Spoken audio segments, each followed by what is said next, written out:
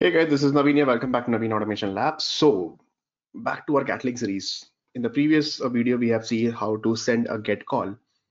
And today we will see how to send a post call with the JSON payload and a very basic scenario we will see that. So for example, let's say I'm going to show you an uh, practical example over here, which is uh, reqres.in. We have to create a user and then while creating the user, it's a post call you can see and this is the service URL and this is the complete URL that we have to do that. So when you uh, send the request, let me just show you once again. This is the create and post call. This is the payload that we have to give. So I'll just copy this particular payload. See this, this is the payload that we have to pass. And we will get the response with 201 and whatever the uh, user information that we are passing, it will be added over here. It will be created and then it will be respond back to you. So how to handle this request with Gatling? So back to our Gatling uh, IntelliJ, and then what exactly I'm going to do? I'm going to create first of all under resources, under test resources, I'm going to create one package to maintain my JSON payload. So I simply create a simple first of all directory over here, and and uh, directory. Let's say I'm creating this is my bodies uh, folder, and under this particular bodies directory folder, I'm going to create a simple file let's see my file name is add a user.json file. I'm going to create that and i'm going to copy paste that particular json. Simple paste it over here. It means this is the name and the job uh, i'm going to pass. Then i'll go to my simulations uh, under scala uh, directory. Simple create a new scala class and let's see this is my add user uh, simulation okay scala class that i'm going to do and I'm going to import two important packages over here. First, three important packages actually. One is that import io dot uh, gatling dot uh, core okay dot uh, scenario dot simulation. So you have to write capital S simulation over here, and then another one is that import io dot gatling dot uh, core dot predefined dot underscore and then import that we have already seen. Earlier that import dot gatling dot uh, gatling dot http also we have to do that and dot predefined methods are available. Predefined classes are available and the methods are coming from this particular package. And we know that okay in gatling every simulation class should extend what? It should extend a simulation class over here. So this is the simulation class i have extended now same thing, we have to create our HTTP reference. So how to create that? Simple like HTTP dot uh, base URL. What is your base URL? So my base URL will be HTTP colon W or see the uh, directly I'm writing reqres dot in over here. And uh, do you have any header to pass? Yes, let's see any header which I'm going to write that is will let's see accept uh, value uh, which is equal to what application uh, JSON. This is what I'm okay. I'm going to pass. If you have any other header, I'm going to write one more header, and the name is let's see content type. Content type as uh, because we are going to pass the application JSON over here, which is equal to application JSON. Application forward slash JSON. Okay, so this is the HTTP configuration is uh, ready now. Now, second thing, guys, that I have to create a scenario. So how will you create a scenario? And first of all, that this HTTP reference that I have created, I'm going to store in a, a variable. Let's see, the variable name is uh, HTTP conf, which is equal to this. After that, what I'm going to do, I'm going to create one more scenario. So scenario I'll be storing, let's see, in this particular scenario, a variable which is equal to I simple write this is my scenario. Scenario name is let's see add a user a scenario right? And after that I'm going to use my dot executable method which is exec method I'm going to write it. And in exec method what exactly I'm going to do that I'm going to uh, pass this particular HTTP method like this. And inside this particular HTTP method actually uh, we have to pass the request name. What is the request name? So let's see my request name is a simple add user a request name that I'm going to pass. After that, what exactly you want? After that, I want a post call. So simple, a post call it is. And what is the service URL? So service URL, guys, you will be getting it from here. This is like slash API slash users so this is my slash api slash uh, users over here and then do you have any json payload body? Yes i do have that. So simple write a body method. And the json payload is available actually under my this particular uh, folder bodies folder. So what i'm exactly i'm going to do i'm going to use the file path over here. So i simply say that this is the this is one method raw file body. And what is the path? The path of the body is i'll start with dot slash forward slash src under src go to test. Under test we have resources.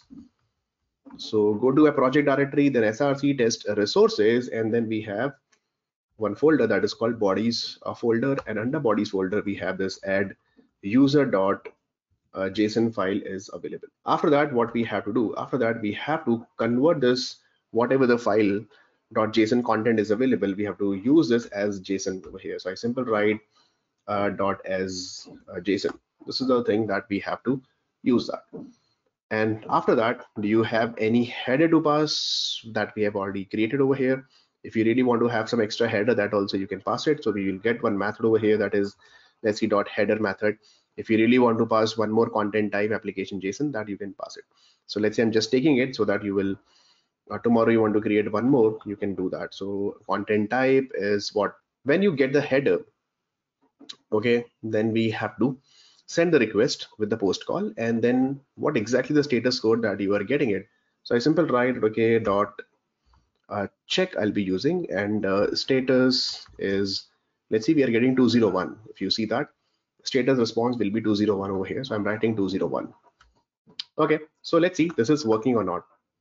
And after that we just need to create our setup method. So let me just first of all close this request close the scenario and then we have to create one setup a method and inside the setup method we have to inject the scenario. So I simply write scn dot inject and uh, how many users you want. Let's see at once users only one right now and then what is the protocol name? The protocol http conf that we have already created.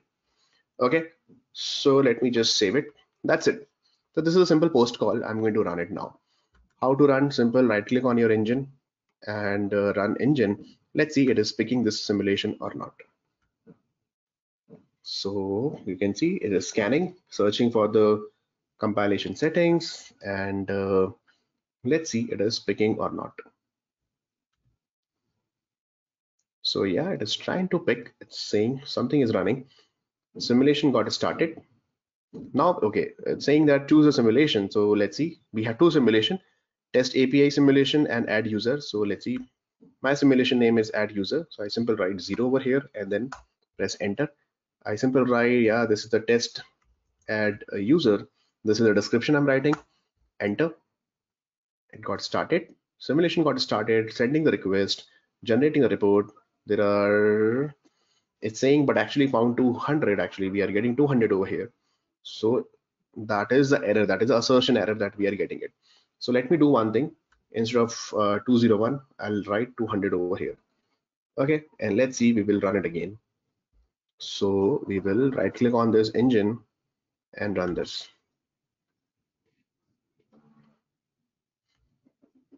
Okay so engine got started and uh, it will find out how many simulations you have. So we have yes two simulations zero and one part zero a simple write add user test okay simulation got started.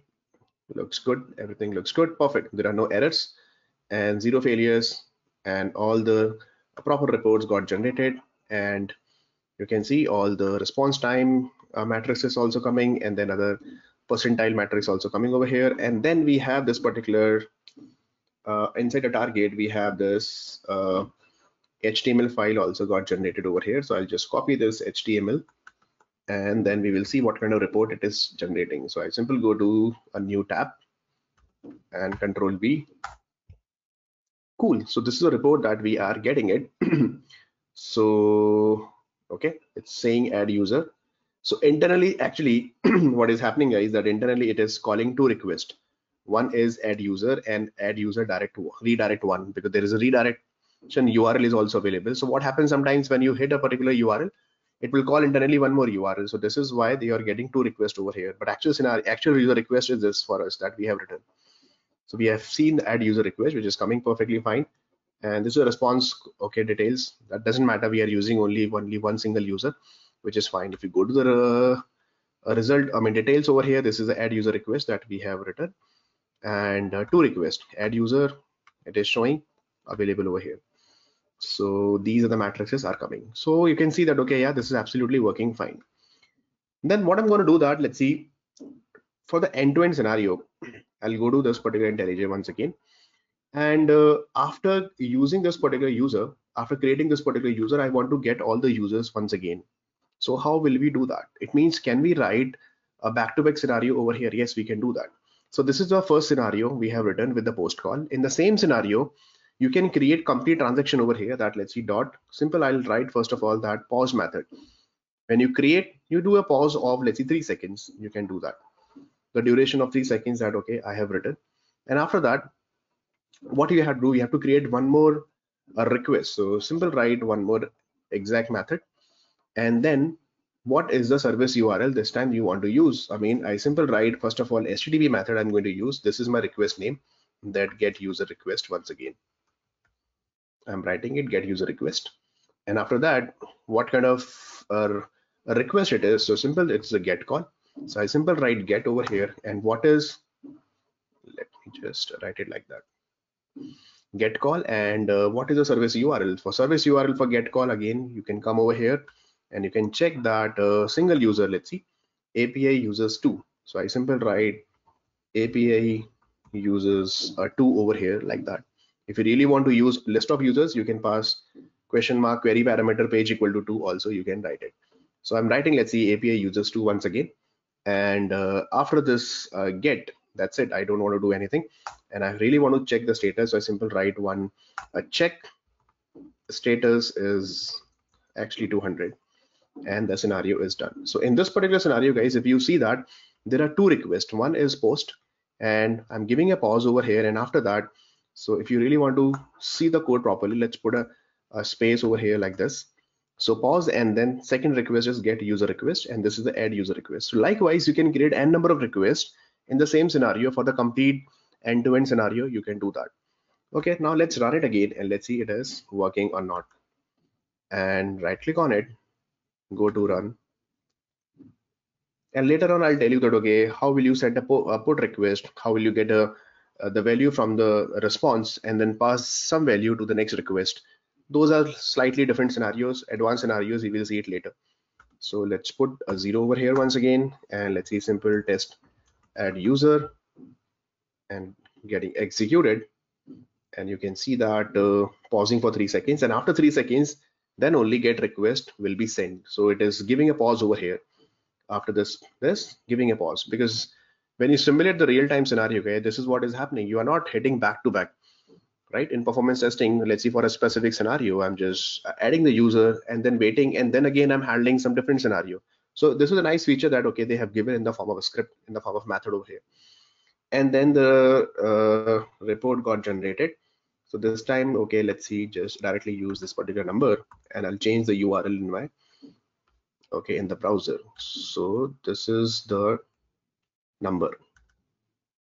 Tool b and then see this. So this time we have get user request also. See got added over here. You can see that. Get user request also got added. But with get request we are getting one error. It's saying one error over here that uh, something unknown host exception. Oh okay. Maybe it could not hit. So unknown host request we are getting it over here. But you can see that okay this is the two requests back to back they are calling it okay. So this is what guys you can do that. This is a very very basic scenario that i have uh, given. The problem is that we have to write forward slash here that's why it was giving the error. Let me run it again for uh, okay. And let's see the error is gone or not. Because this is a service url we have to write with forward slash api users to now press zero and test add user once again so let's see this time we are getting the proper result or not. See you can see that uh, it's sending the request getting all the logs. There are no errors. And then so far looks good to me. And then just copy this number. Or you can just copy the entire url for the index.html and then update it over here. So i'll just update it over here. Now this time it's not giving you any error which is absolutely fine. Let me go to the global and no error error is gone. So you can see get user request and there is a redirect request internally they are calling. That is get user request redirect one. Okay so perfectly fine no errors are available like that. Tomorrow you want to add some more requests. Let's see get all the users. You can just keep adding it over here. So let's see after that i want to create one more pause. Uh, let's see pause for again for two seconds this time. And then i simple write sorry I simple write uh, let's see dot execute with http and uh, what is the request name? So request name i'm writing let's see get all user request. This is the request name that i'm passing.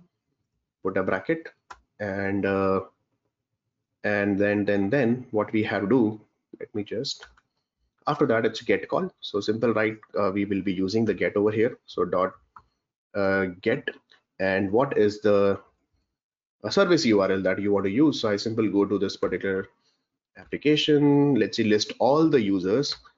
Uh, the service request name is this. So i just simple copy this entire thing from here. So let me just copy from the url okay. So after this yeah copy from here go back. And uh, this is the request. Simple paste over here. Do not forget to put a forward slash and then that's it. And after that i want to do a check that status what is the assertion that you want to write. Later on i'll tell you you can write the json path also. But that we will see it later. So status is 200 you can use json pass path. So whatever the response that you are getting you can fetch some value. So whatever the you know the key value from the json array or json object you can fetch it on the basis of the key. And then that's it. Okay so it looks good now. So three requests that we have created get all users get users and add users. Like that you can create some basic scenarios end-to-end -end scenarios you can do that. Now let's do the final run and then that is the last request for today. So run this. Let's so simulation getting started. First of all it's collecting the simulations. And uh, yep so let's write zero.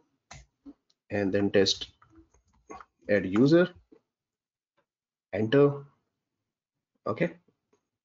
Running fine pausing see pausing for three seconds. And then the next request that is see this it's saying pausing three seconds get user request next time. You can see all the logs with this particular request. Scenario is equal to this user id equal to one that we are passing it. So no errors zero failure and let's see the report this time once again. So copy this particular number and go back to the reporting part copy this. Okay enter. And then you can see there are multiple requests. See this is add user then get user and then get all request all user request that we are getting it. And you can check the report over here like that. And then if you really want to increase the total number of uh, users at one uh, at once user you can increase the count over here as well. Okay so that's all for this particular video guys. This is how we send the post request with gatling. In the next video i'll tell you some other scenarios some other features that uh, what are the different uh, response time what i mean the response request that we have to capture how to send the put call delete call all those things i'll tell you. So till then take care. Thank you so much guys. Please practice gatling. Very very interesting tool. And a lot of advantages are there with this tool. Let me know if you have any issues with that. Please do not forget to uh, watch the previous videos of gatling. If you're struggling with the setup and everything please watch properly.